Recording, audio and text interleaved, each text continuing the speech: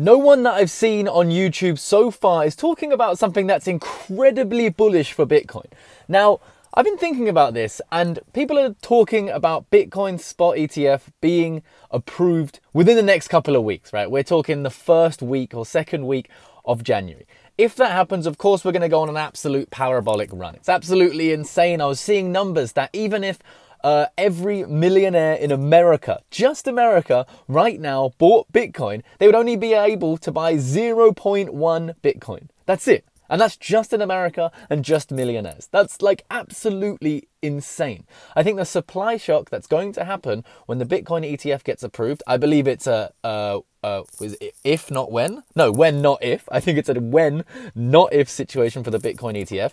I do, however, if you know my channel, believe that we're going to have, you know, some crazy choppy action and something is going to happen between now and the ETF approval that people aren't expecting because it's all going a little bit too nicely. But that's not what this video is about.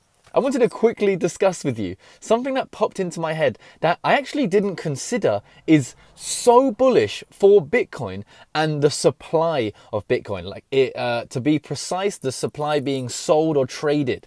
And as we know, with less Bitcoin or less supply being traded, this is going to make, uh, if people want it, if there's demand for Bitcoin, this is going to make the price rocket, right? If no one's selling it. And I believe there's something that is actually stopping people or will stop people from selling even more Bitcoin than they are today. And today it's around 75 to 79% of all Bitcoin hasn't moved in like over a year. So none of us are selling it. I'm not selling any of my Bitcoin right now. And I think this is going to increase drastically with the Bitcoin ETF because of one thing. Now, to make sure I benefit from this happening, I have long positions open on Bitcoin, right? These are big very leveraged positions. One of them I've been in since 26,000, that is in 2.7 thousand percent profit. And another one that's in 446% profit that I opened again at $41. You can open similar trades like this over on Margex. There's up to $10,000 of a deposit bonus down there in my description if you do want to do something similar to me.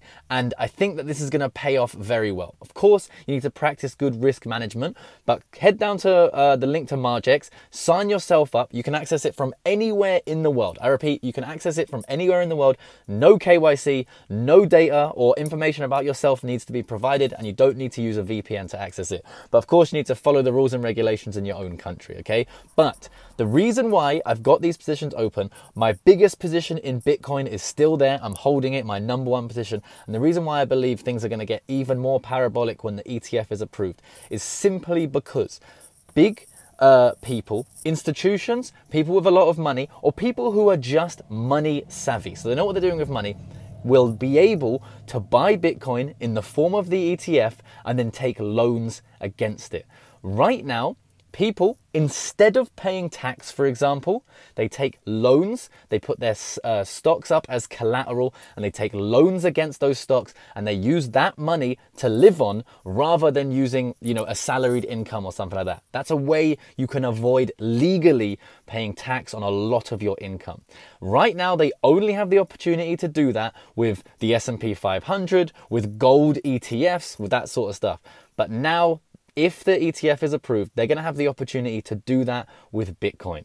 And I believe that a lot of people, let's say they have 10% of their net worth in Bitcoin, eh, in gold, right? In a gold ETF and they're borrowing against it. I believe that a lot of those people with the ETF approved will move a significant amount of their funds, maybe one, two, three, five percent of those funds into a Bitcoin ETF and then start taking loans against that Bitcoin ETF.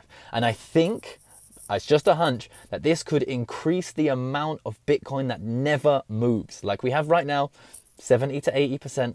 This could push that up to 90, 95%, something like that. And if we have 5% of Bitcoin that's traded, right? We got 2 million Bitcoin left to be mined. We've got 2 million right now on exchanges. So 4 million, right?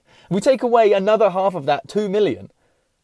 At the price of Bitcoin continues to rise. We got the halving, we got all of this stuff.